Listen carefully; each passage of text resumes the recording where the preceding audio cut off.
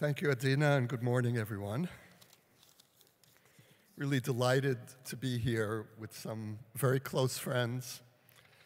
And I uh, really would like to thank all of you for everything that you do to help make us a better and more worthy Jewish people. And Noa, I'm delighted to be here with you as well. I've been to the kitchen and uh, I look forward to a return. You're just doing extraordinary work. So, the, the great internal challenge facing the Jewish people today is our increasing inability to balance the two essential components of a healthy Jewish identity, which are our particularist commitments and our universal longings. Built into the very foundations of the Jewish people are these two opposing commitments tribalism and cosmopolitanism, these two opposing sensibilities. And the founding moment is when God tells Abraham, Lech lecha, leave, go forth, leave your, the land of your birth, leave the your homeland, leave your parents' home, and go to the land that I will show you. And there's something almost cruel about that forcible extraction from the world that Abraham knew and grew up in. For the sake of separating him from the nations and creating a distinct identity.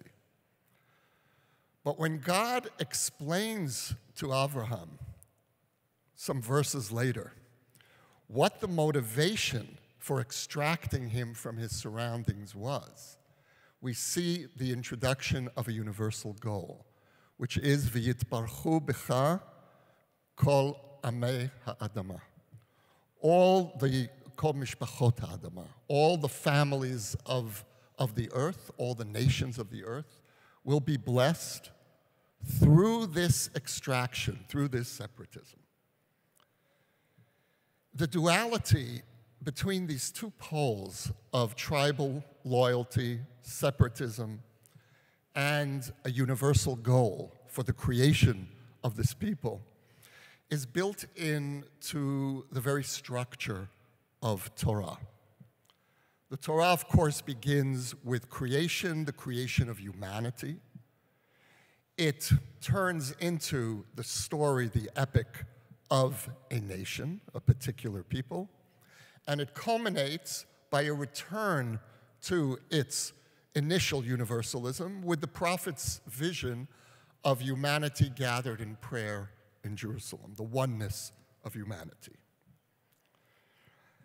In that sense, Judaism can be called a particularist strategy for a universal goal. Given that universal goal that's built into the very foundation of the Jewish people. It's not surprising that throughout our history, we've been tempted by universal movements. Periodically through our history, large numbers of Jews have wondered is this the moment? Is this the moment that Judaism, in effect, was preparing us for? Is this the moment when humanity is about to break out into an experience of oneness. And the first time we really experience this tension between the particular and the universal is Hanukkah. The Maccabees revolt against the universal culture of the Hellenists, which promises precisely that a universal oneness. And then, throughout our history, the emergence of Christianity, 19th century European Enlightenment, Marxism, and in our time, globalism.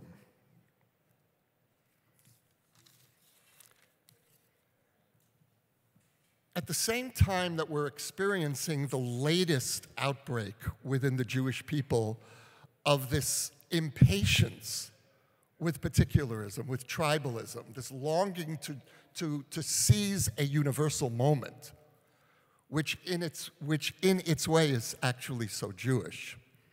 we're also experiencing a strong backlash against universalism, against tikkun olam, or what its opponents would call tikkun olamism. And I know that backlash very well because I grew up in it. I grew up in a neighborhood some of you may know, Borough Park in Brooklyn, in the 1960s and 70s. It was at the time the largest concentration of Holocaust surviving families in the US, maybe, maybe anywhere. And Borough Park was really, in, in some sense, the capital of the Jewish wound. That sensibility, that part of the Jewish people which said, we don't want to be part of the world that created that. You're ready now to accept us into your world. Now it's too late. And I always felt growing up that if Borough Park could have built a moat around the neighborhood to separate it physically from the rest of the world, from the non Jewish world, and from the rest of the Jewish people, which, from the sensibility of Borough Park, was making unconscionable um, compromises, cultural compromises with the non Jewish world, then Borough Park would have constructed a moat. Living in Israel now for the last 35 years,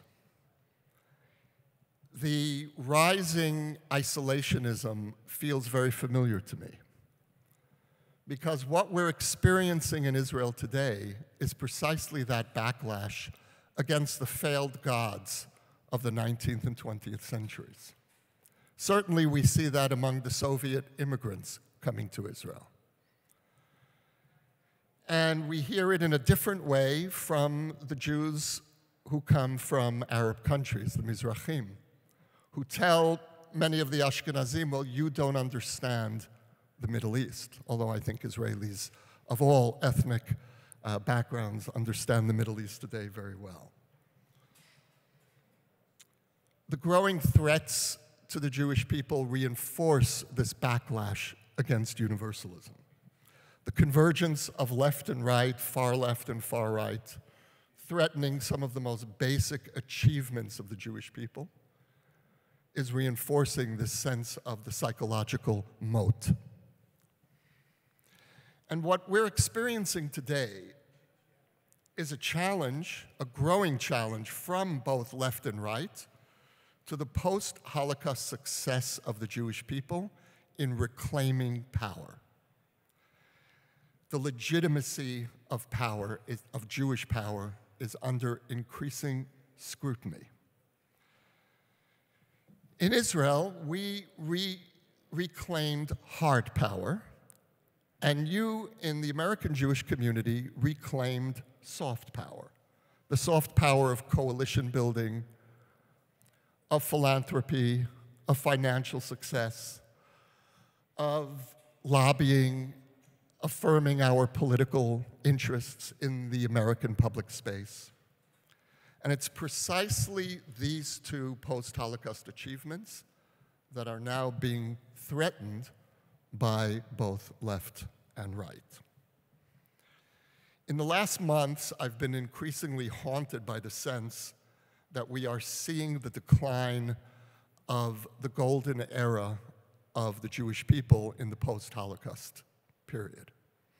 And you know that you don't always realize that you're in a golden era until it begins to wane. And that's what it is beginning to feel like for me. The natural response among many Jews is to barricade themselves into a survivalist ethos and to regard universalist longings as a dangerous distraction, a Jewish fool's errand. I recently spoke at two rabbinical schools in New York. I will not name them, although from the details that will follow, some of you I think will be able to figure out where I was. The first was Orthodox, the second was liberal. They are separated by a relatively short subway ride, and yet they inhabit conceptually different worlds. When I spoke in the Orthodox seminary, and I brought in the question of the Jewish people's relationship with the non Jewish world, the immediate pushback among the rabbinical students was to quote the biblical verse from Bilam Am levadad yishkon, a nation that shall dwell alone and not be reckoned, a people that shall dwell alone and not be reckoned among the nations. And that, for most of the people in the audience, was the beginning and the end point of a discussion about the Jewish relationship with the rest of the world. There really is not much to discuss beyond that verse. A short while afterwards, I spoke at the liberal seminary, and I asked them for their reaction. I told them the story about what I encountered, and I said, Well, how do you all feel about Am Levadad Yishkon? And many of the rabbinical students in the room didn't know what I was talking about. Simply were not familiar with the verse. And certainly were not familiar with the seminal role that that verse has played for millennia in the Jewish psyche. So the question is how do we get the balance right? How do we try to pull back from the brink? Because at this moment, we are dividing into, into separate camps of increasing universalists and increasing particularists who don't share the most minimal common language, who don't even understand the verses that the other side quotes. And I'll speak for a few moments as an Israeli. The balance between our tribalist commitments and our universalist vision is enshrined in our Declaration of Independence. And according to the framers of the Declaration, the state of Israel contains two inseparable, non negotiable identities. The first is that Israel is the state of the whole Jewish people, including Jews who are not citizens of Israel. And the second is that Israel is the state of all of its citizens, including those who are not Jews. And I'm going to emphasize the second definition for a moment because that is the definition that is now under direct threat within Israeli society, uh, first and foremost by the prime minister, who just the other day explicitly said that Israel is not the state of all of its citizens, which to my reading of the declaration is a profound negation of half of our being. Those two identities entwined represent the liberal nationalism, the spirit of liberal nationalism with which Israel was founded, and maintaining that spirit of liberal nationalism is essential to helping us navigate a globalizing world. For me, the notion of liberal nationalism sounds natural, though increasingly in our polarized world, uh, it sounds like an oxymoron. Uh, I grew up uh, not only in Borough Park, but in, on the political right. Uh, I was a member of the Beitar youth movement when I was a teenager. And Beitar, of course, was the youth movement of Jabotinsky and Menachem Begin. And the Beitar that I grew up in was a repository of the spirit of Jabotinsky which was an old fashioned 19th century liberal nationalist spirit. And we took that for granted as the basis of our Zionism. And while I no longer personally situate myself in that camp, I feel personally betrayed when the leader of that camp, the Prime Minister of Israel, effectively says that liberal nationalism is an oxymoron and liberalism is the negation of the essence of Zionism. Now, in theory at least, if you look at how the Jewish people is structured today, we are, in principle, ideally positioned to navigate a globalizing world. The diaspora is by its very definition a global people. Let's use the Hebrew term, Am Olam. Am Olam is a beautiful and, and, and ambiguous term. On the one hand, it refers to the Jewish people as the people of eternity, Am Olam. Olam can mean eternity. A people that is indestructible. But a second meaning of Am Olam would be more literal the people of the world. The people that is not only spread throughout the world, but is actively engaged with the world. Am Olam. And to ensure that in this globalizing moment, the Am Olam doesn't disappear, we have a strong national center in the state of Israel. But for Israel to play a positive role in reinforcing the ability of the Am Olam to navigate this globalizing moment requires that Israel maintain a commitment to liberal nationalism. It requires an Israel that remains attractive to diaspora Jews. The Jewish state law, which was passed about half a year ago, has been called by its opponents as racist and by its defenders as affirming the essential identity of the state of Israel. And I would argue that both its detractors and its defenders are missing a crucial point. To my mind, that law is not racist. It doesn't undermine the individual status of Israel's non Jewish citizens. And as its defenders note, that base, the, there is a basic law that was passed in the early 90s affirming the democratic right of every citizen of Israel. But what its defenders don't admit to is that this law is about defining the identity of the state. And when you define the identity of the state as only either the Jewish state or only as the state of all of its citizens, you are, you are committing a profound blow to our ability to hold these two identities together.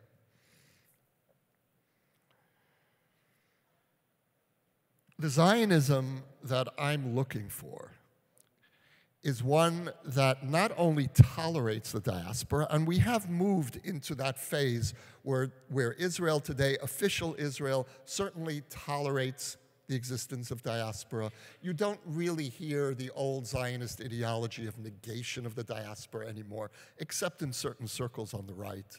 But in mainstream Israeli society today, that's not the discourse. But respect for the diaspora, respect for the essential need for a healthy Jewish people to be composed of both a center and a diaspora, that language is largely missing from Israeli discourse.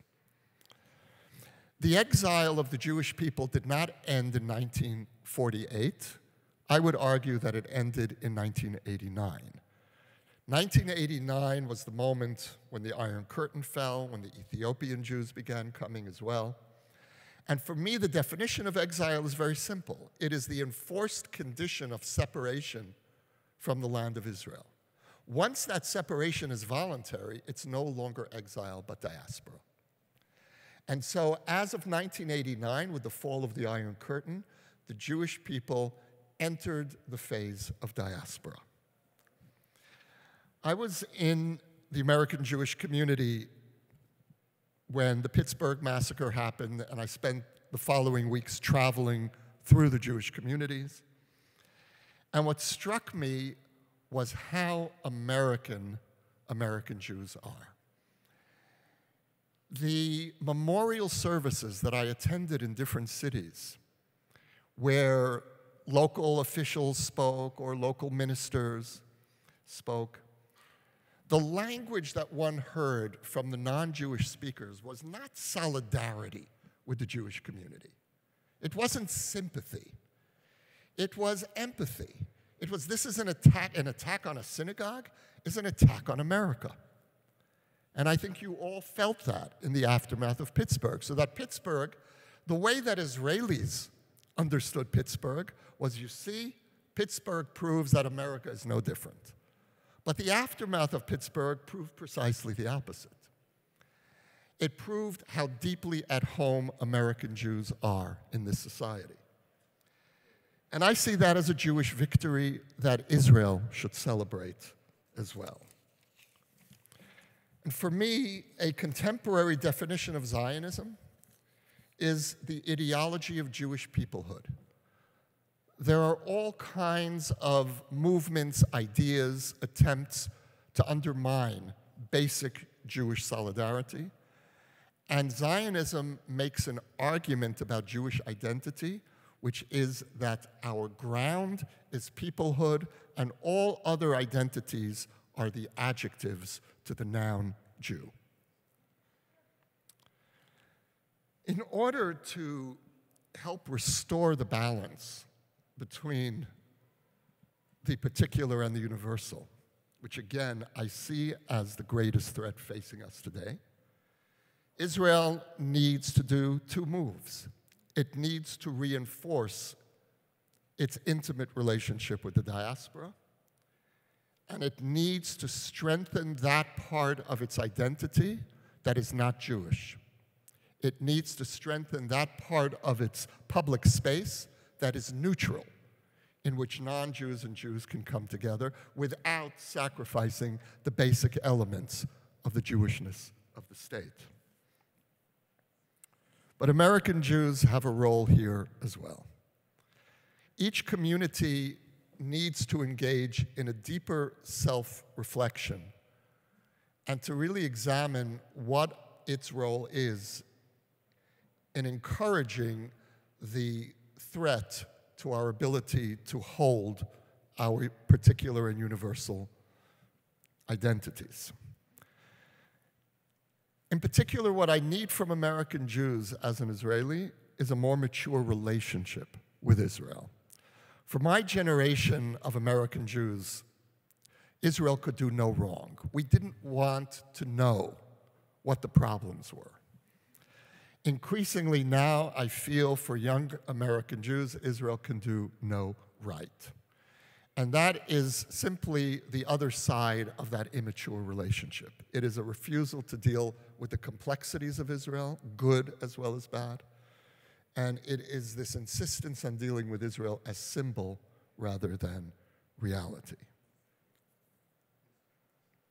An example is a growing tendency among liberal American Jews to seek Israeli allies on the far left of the political spectrum in Israel.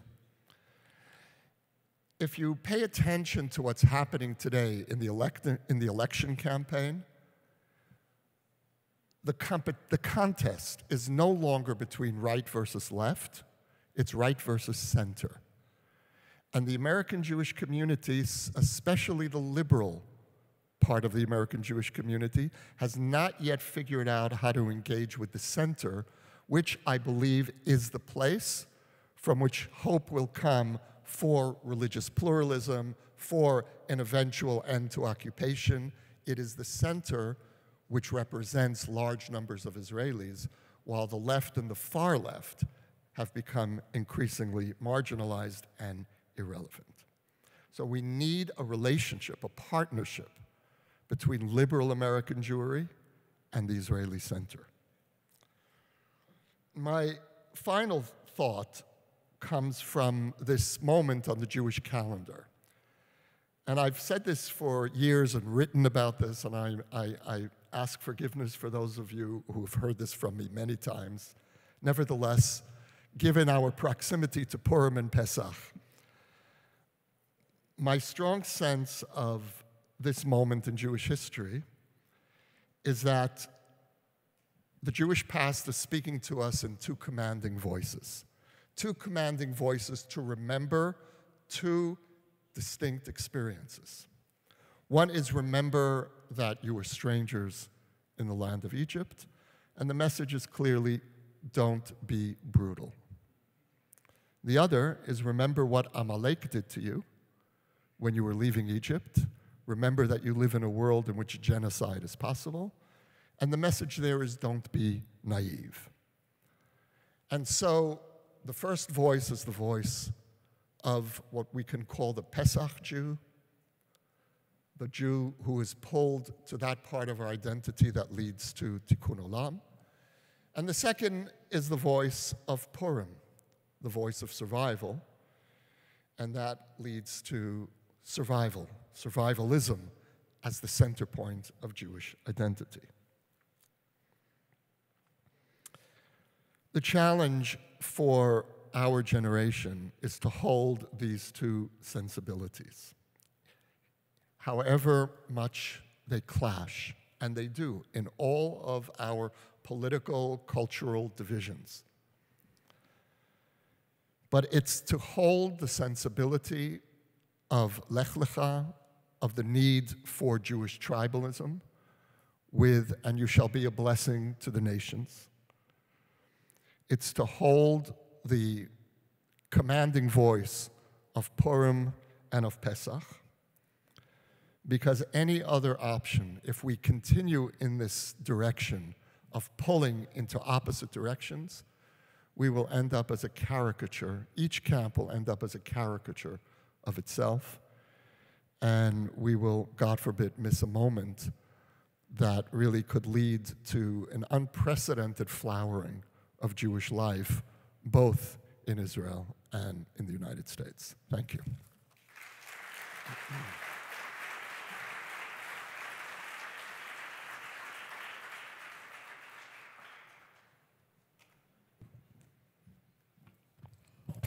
Thank you. Thank you, Yossi. These days, I think a lot about Yitro. You remember Yitro, right? Father in law of Moshe, of Moses, shows up after we've left Egypt and crossed the sea when we, the Israelites, are in the middle of the wilderness, in the middle of nowhere. Oh, and I should mention Yitro, not an Israelite. Yitro shows up because he hears a story that compels him to drop everything in his life and to come and find us. What does he hear? From a quick read, you'd think it's obvious. We just left Egypt after all. Some good stories there. But as usual, the rabbis complicate the matter, and they decide in their wisdom that it could have been any wild variety of things that he heard. Regardless of what he heard, we know this story was life changing no matter that he'd missed our whole exodus of leaving Egypt, Yitro sacrifices honor and power, and he runs out into the middle of desert to catch up and to help. And this is no excursion. He goes without any plans to return. Based on what I see here in San Francisco, there's two reasons why I think the story of Yitro rises to the surface now two reasons why Yitro is important for our discussion about Jewish identity. First is obvious. Yitro is not born an Israelite, and of course, there's no such thing as being Jewish yet. And while the rabbis talk about him as a model of an early convert, there's a lot of free license in that interpretation. See, ethnically, Yitro is not one of us on any level, but in terms of his ability to show up and sacrifice and help, he becomes indispensable. And it makes me think that it's possible that by counting our people primarily through Jewish ethnicity or lack thereof, we are simply counting the wrong people. See, the first reason I think we're in the time of Yitro, non Israelite father in law of Moses, is because we too have people who want to marry our people. They compromise many of the families represented in this room. I think the intermarriage rate in Marin, where I used to live for my generation, is like 80%. They're just like the people in Torah. I think about the academic philosopher, stoic grandfather of the bat mitzvah that I met last year, not Jewish. His daughter had converted, so his granddaughter was being raised Jewish, and as you would expect, he'd been present around his daughter's family as it grew he wasn't Jewish, but after the bat mitzvah, we didn't give him a choice. We lifted him in the chair during the hora. And when it was all over, he came over to me at the end of the party, and this man was crying because he always wanted to be part of the Jewish story, but no one had ever thought to invite him. and he didn't know he was allowed to count. He's like, Yitro, I thought. I told him, just keep showing up. And he cried some more. Or I could tell you about the hundreds of people I meet, the curious brides, of course, but also the 15 year olds who show up wanting to learn how to read Torah, their secular hipster parents confused at how they ended up in a religious setting. The young husbands who come to class after class after class, open eyes, the roommates, the volunteers from Glide who then showed up for Shabbat and somehow never left, the woman who was dating someone Jewish but they broke up and he moved away and could she stay? All ages and walks of life who hear something, who experience something, and they want to be a part of what we do. They want to do Jewish with integrity, they want to help. And while we sure do a lot of conversions every year, not everyone is ready to convert at this moment.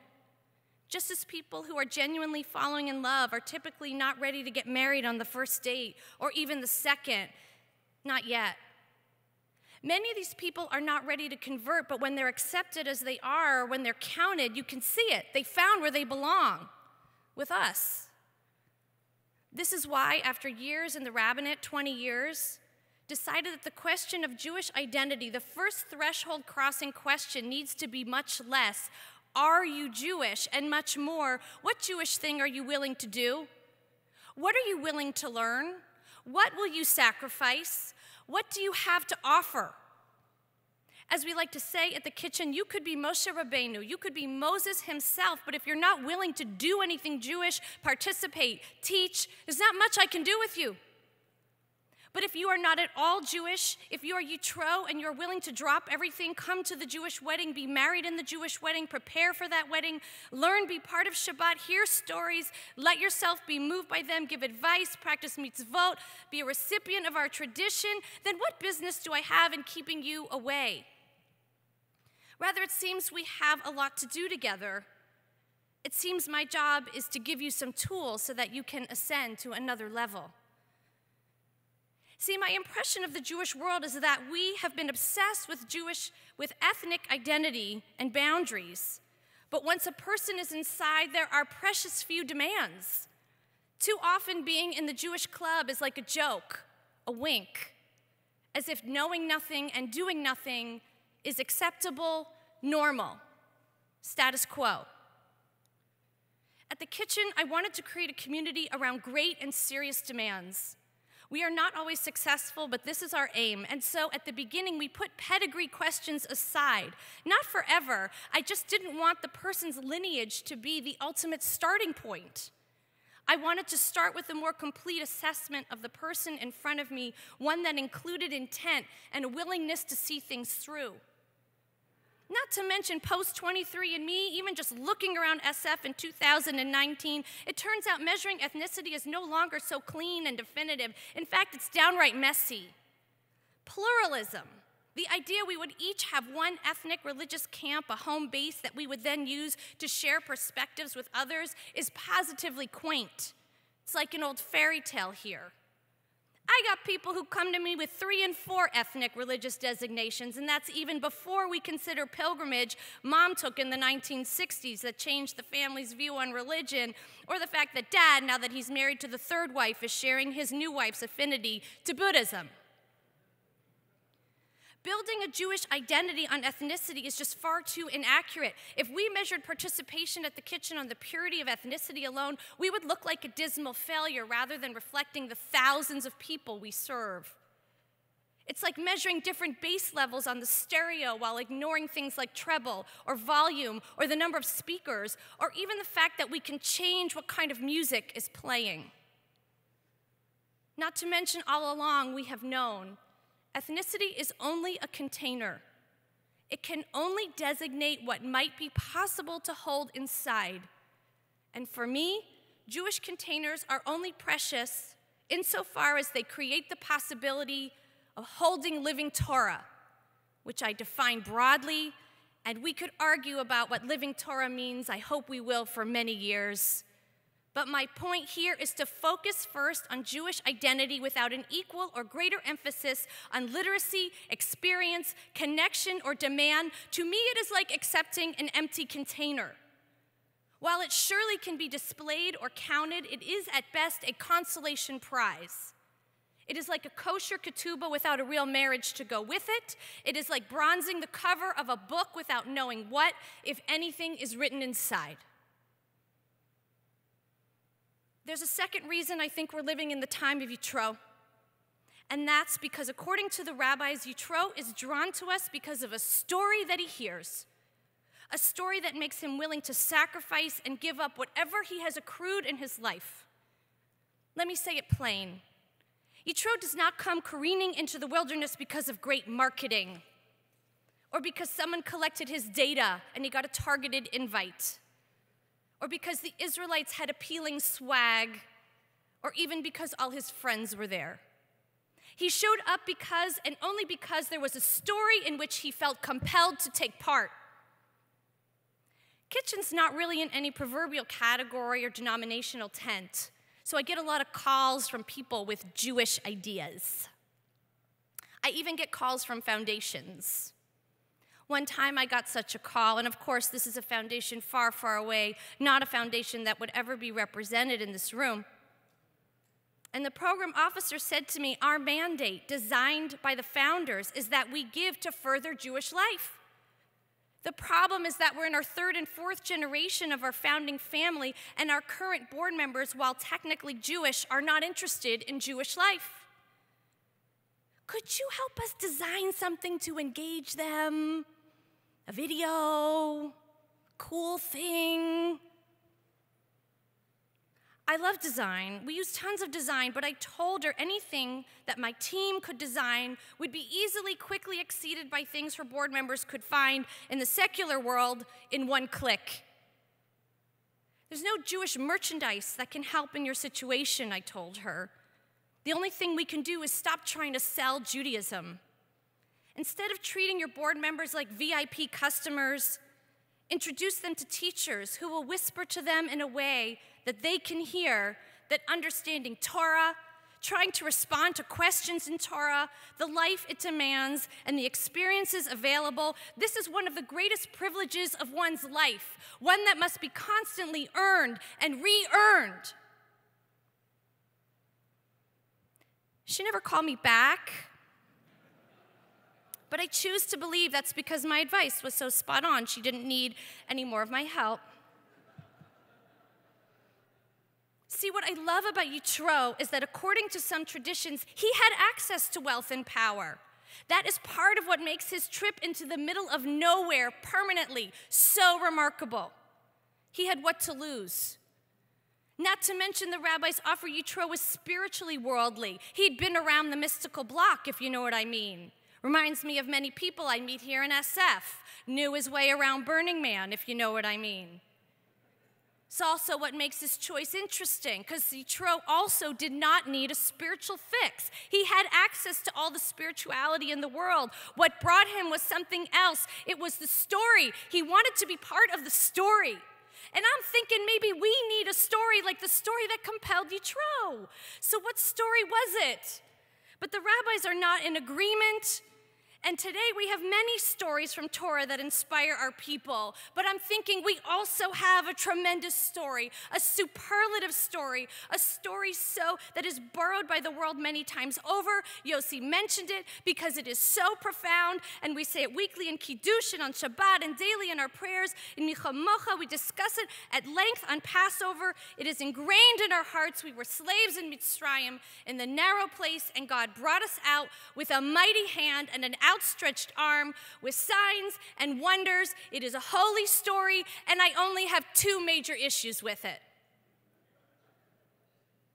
First, this story syncs up so fully with the last hundred or so years, so elegantly, as in we ourselves have witnessed the slavery of Shoah and the miracle of the birth of the state of Israel. It syncs up so completely, we can come to no other reasonable conclusion other than we and our parents and our grandparents are indeed living this very story. And when we look back on the past decades and see where we are now, Israel established and thriving, we can come to no other conclusion than the story is in its final chapters, ending pretty much over, over. Right? Yeah, because we're free. Thank God Shoah ended. Not only did we survive and we have the land of milk and honey, not to mention USA, land of silicon and money. We, the Jewish community, are in a glorious startup nation. Last chapter. But even if you're willing to swallow the strange and bitter pill that Israel rises from Shoah, something I myself do not abide by, even putting that aside, the problem with framing that we are riding off into the sunset and in the last chapter of our story is that no Yitro, frankly, no one with a pulse or very few people are going to drop everything to work to be part of a story that is over. Simply put, there's no room for a new generation when the solutions have supposedly already been found. I mentioned I get a lot of calls from struggling agencies and synagogues. Invariably, they all ask me the same question. It's some version of how do we get the young people? Since my teenage daughters would double over laughing at the designation of me as leader of the young people, I'll explain to the uninitiated that in Jewish land, young people translates to people younger than baby boomers. Back to the call. After we clarify that young people encapsulates two to three generations, possibly four, I tell them to give over at least 51% of their board to the demographic they seek to become and let that board run the organization. My point being that as long as a group does not make up an institution's visionaries and stakeholders, they will always be a variant of customer. It is only when we are willing to give up power and the trajectory of a given institution or foundation or federation that we may bring in another generation. Everything else is just trussed up versions of the proverbial kids' table. Believe me, they see it from a million miles away. There has to be another way of telling the story so that the future goals are not already predetermined, so that participation amounts more than consuming easy things and parroting slogans, so that would be leaders know they are up against real and difficult decisions with the accompanying consequences. Remember, Yitro doesn't just show up, he helps. He gives Moses a sense of purpose during a difficult time. He helps Moses get out of his own way, makes him delegate some of the legal decisions. Without Yitro, we might still be waiting in line in the desert. In fact, Yitro changes the trajectory of our Israelite community because not only is he allowed to participate, he's allowed to get in there and shape what's happening. My other issue with our incredible story of leaving Egypt and becoming free is that even though we say avadim hayinu, we were slaves in the past tense, many of us still deep down very much identify as just recently slaves. We were slaves like five minutes ago. Since there's nothing in the verses that now identifies us as royalty or artists or government officials or parents or rabbis or lawyers or doctors or real estate titans or activists, even though there's a part right after those famous lines that gets cut out of the Haggadah, which talks about our giving back to the stranger and the orphan, even though Torah uses this story and the idea of our being strangers to remind us to reach out to the stranger repeatedly and in many contexts, when we tell the story, we were slaves and God brought us out with a mighty hand and an outstretched arm. When we tell the story, it seems we can't help but hang on to the idea that we are newly freed slaves as in, we might be slaves again at a moment's notice. As in, watch your back. As in, be suspicious of Yitro. As in, be suspicious of all newcomers, especially if their allegiance is not proven in advance. As in, be suspicious even of each other. One never knows and combine that powerful, pervasive, I was just a slave narrative with the facts of Shoah, throw in some very real incidents of global anti Semitism, not to mention Israel's unrelenting enemies, tunnels and rockets, extremist bent on Jewish destruction, combine that deep groove, that powerful, pervasive, I was a slave just yesterday, I might be one tomorrow line of belief, combine that narrative with just enough ongoing evidence from the harsh world, and we can see why the Jewish identity of many is, against much evidence to the contrary, that of a small and maligned group, haunted and hunted, as if we admit we are free, but just until the next anti Semite is strong enough to come and get us. And so we have a strange kind of self identification, a funhouse mirror way we see ourselves, like lottery winners who still clip coupons, preparing for the inevitable recession. The way we see ourselves, in most cases, incongruous with who we are.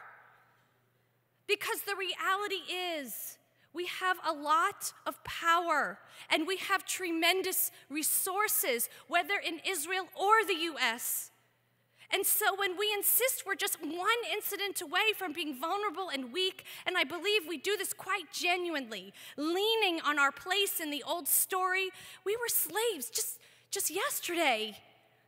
When we do this, this is a most dangerous and self defeating disconnect because at a time when we need to learn how to be agile, how to tell a story to ourselves about ourselves that is true to this moment, that resonates with the complexity of now, a story that brings the Yitros, born Jewish and not born Jewish, clamoring, running from near and far to help, Yitros we often cannot even see as allies due to our selective blindness and fear, at a time when we need a story that protects protects us, not just from imagined historic foes and phantoms, but also from the very real challenges we face in this moment at a time when we need a story that will carry us through to another era that we cannot understand, that perhaps only our grandchildren will understand. We are still largely, institutionally, and communally anachronistic. Given what we have been through and are going through, this is understandable, but it is still tragic. We're using a story that simply no longer fits. It's threadbare, doesn't cover us, it actually exposes us. For we are not just newly freed slaves, and as strangely comfortable as our part in that story might feel, we need a place in the story that goes beyond scaring the Jewish community into temporary allegiance. As much familiarity as anti Semitism might offer, as known as that script surely is, look around this room. Look at this room. We are not newly freed slaves. We were slaves, true, and God redeemed us, Baruch Hashem. And now we must remember that there are still slaves, very, very close to here, just down Ellis Street. Take a walk. You don't have to go far. And in other parts of America, there are systemically neglected people too. And I'm ashamed to say, people who are systemically oppressed in this country at this prosperous time. And there are people who are far from free in Israel as well, people who are suffering and are systemically oppressed by many hands, some of them ours. So we must ask ourselves and quickly is it possible that we were made free, but we forgot what freedom was for? Is it possible that we built a lot of beautiful organizations and institutions, but forgot why they exist? Is it possible that self perpetuation slowly but surely has become its own kind of mission, superseding any other? I'm not saying any of this change or making new solutions will be easy. I'm just saying we cannot afford to lean on this narrative a minute longer. It is past time for us to imagine ourselves anew in the story. It is a matter of our ability to evolve and thrive now and in the future. So, may I last suggest a new telling of our old story? Not we were slaves, not we were slaves, but there are slaves in narrow places, and they cry out from harsh treatment and from their suffering, and God will bring them out with a mighty hand and an outstretched arms, with signs and wonders. And that leaves us with one last question. For if we are not the slaves, who are we? We are not God. That much is certain. And we may live in a whole variety of protected palaces, but I pray we are not the pharaohs, nor the taskmasters, nor the bystanders. Indeed, that's why our Torah repeats itself so much on this very topic, because Torah knows it is so easy to protect oneself and forget the strangers and the powerless. So maybe I would just end with a prayer that we don't forget our Torah and we don't forget our ingenuity and courage. so that in this version of the story, in this moment of potential redemption, in this moment when there is great unrest in our world, since we know we are not the slaves and we know we are not God, I pray we work to be the mighty hands and the outstretched arms, the very agents that once helped bring freedom into the world. Maybe if we work together and we work hard, our generations will be recorded as instigators of justice and agents of righteousness and of heaven. I hope one day we'll all live to see it. So that one day I can say to my daughters, See that courage? See that thing we all thought was truly impossible, but with sacrifice, with our work, it really happened? That's what Torah means when it says signs and wonders.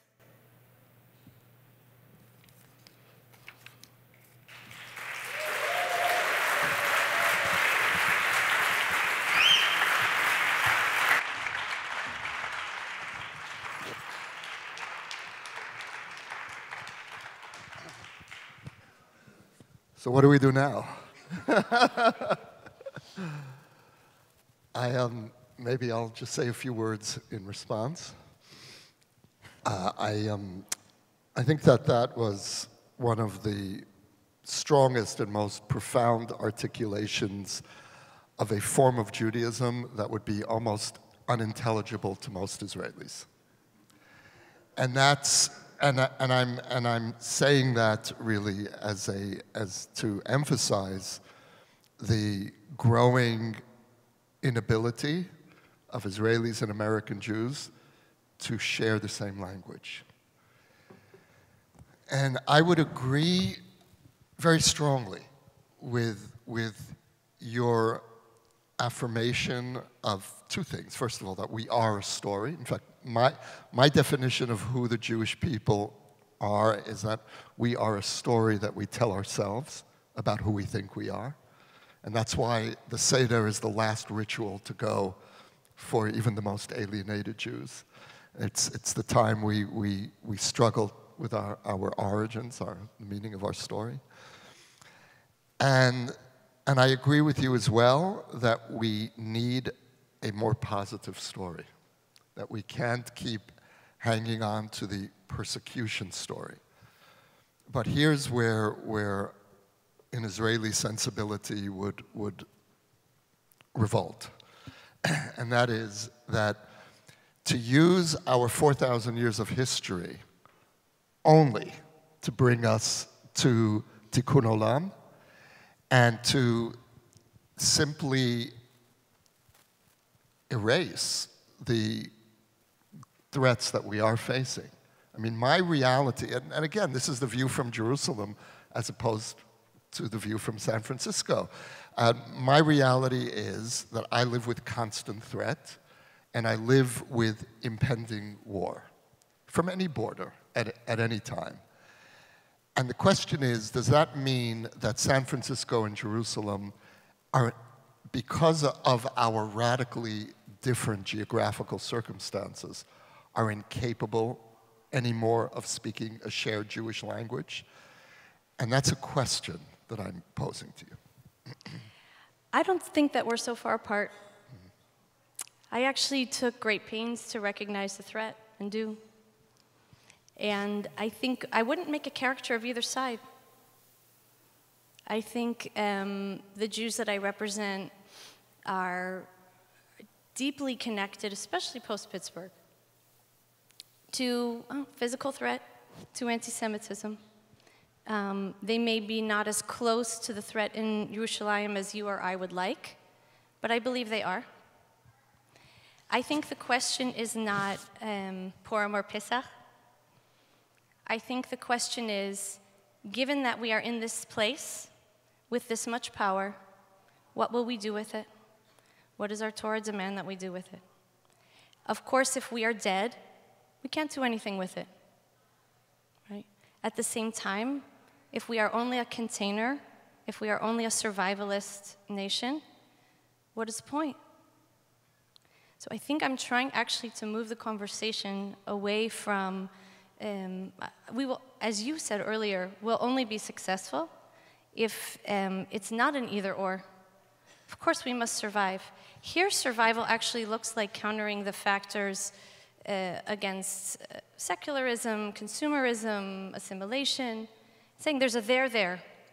There's a strong, there's a strong Torah that you would want to be a part of. Um, and I think also being future focused. I, I think in the same way that you live a reality of a, of a threat, I meet people pretty much every week who, if we didn't meet them and talk with them, would no longer be Jewish. There's, there's no question in my mind that thread would end. Should we take a couple questions? Yeah?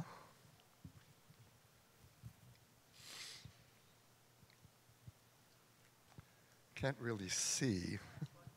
okay. Um, I appreciate so much what you're saying, and I think um, I just wonder how we all have so many common values and we're so divided. And I will say personally, I would be labeled a liberal Jew who took on being president of Stand With Us in Seattle, which raises people's, what?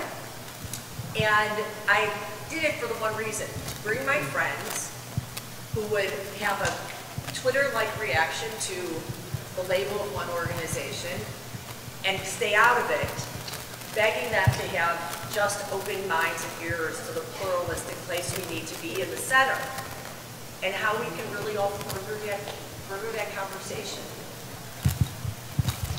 You know, I think one thing that we can all do is agree that the center feels different for different people um, and to remove taboos. So ideally, we would ask people to to be able to walk into a space and have a dialogue. But I think one thing that's happening uh, that's interesting in the Jewish community overall is um, organizations that were once considered big tent and inclusive of many are now considered to be rightly or wrongly, the perception is that they're a place on the political spectrum.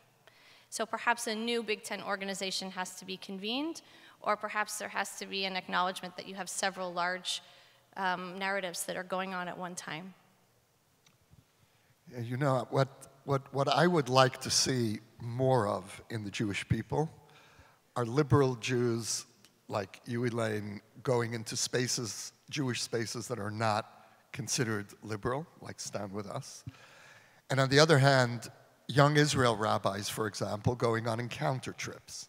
I think we need to scramble the map because my, you know, my, my great fear is that we're dividing, again, that we're dividing into, into two peoples.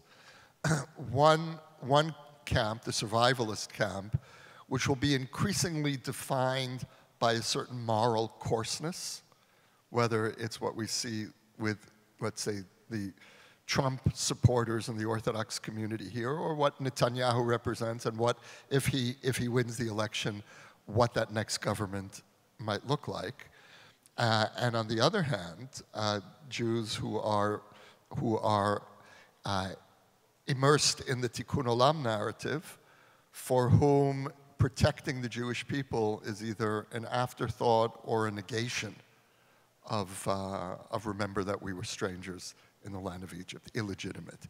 And so I worry about us being divided between a, a camp of, of brutality and a camp of naivete.